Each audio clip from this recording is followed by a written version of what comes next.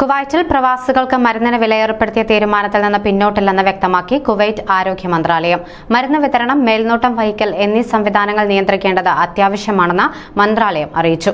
പ്രവാസികളിൽ നിന്ന് primary health ക്ലിനിക്കുകളിൽ അഞ്ച് ദിനാർ out patient ക്ലിനിക്കുകളിൽ പത്ത് ദിനാർ എന്നിങ്ങനെയാണ് മരുന്നുകൾക്ക് ഈടാക്കുന്നത്. പ്രവാസികളുടെ ആരോഗ്യ ഇൻഷുറൻസ് തുക ഉയർത്തുന്ന വിഷയത്തിലും ഉടൻ തീരുമാനമെടുക്കുമെന്നാണ് സൂചനകൾ. കൂടുതൽ പ്രവാസി വാർത്തകൾക്കായി പ്രവാസി വിഷൻ സബ്സ്ക്രൈബ് ചെയ്യുക.